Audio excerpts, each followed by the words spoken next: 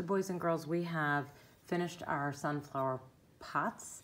They have been fired. They're no longer greenware or soft clay. They are bisqueware because they are bright white and they are no longer soft. They're nice and hard. And we are going to be painting them today with a special paint called glaze. Now every glaze that you choose, whatever color you choose, you're just gonna have a brush and the glaze because we're not gonna be adding any water um, to the glaze. Pick your color. I've chosen yellow just because I wanted mine to be um, yellow, just like our realistic sunflowers that we were drawing and or creating our collages from. Um, we talked a lot about making them look like real life, so I'm gonna stick with that idea. But you can choose any color that you would like to for your, oh, looks like I moved out of the way there.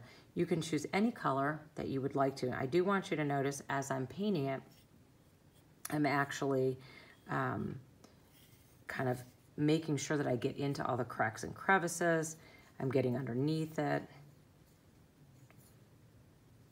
And I'm just making sure that I paint it everywhere that I want that yellow to be, okay?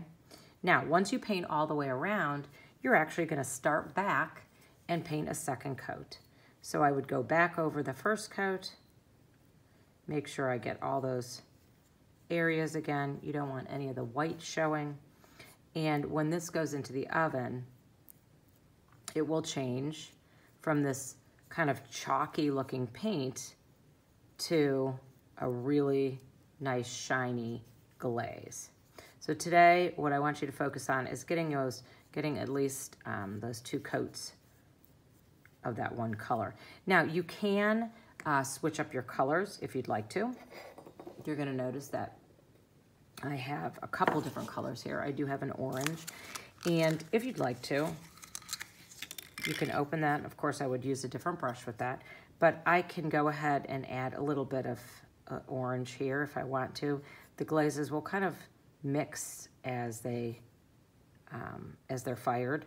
Uh, this is, it's kind of weird. It's not like a normal paint where you'd paint over something and you wouldn't see the color underneath. These are gonna kind of mix in the oven. So you're gonna notice I'm adding some um, little orange, like an orange ring around the edge. Um, that will kind of mix. It'll be more of a yellowish orange when it comes out of the oven. But I'm just adding a little bit around there. I want the tips to remain yellow and I want the inside um, to remain, uh, to be kind of like an orangey yellow. Now I'm not gonna paint the center today. I'm not gonna worry about that. We'll add, we'll do that later on.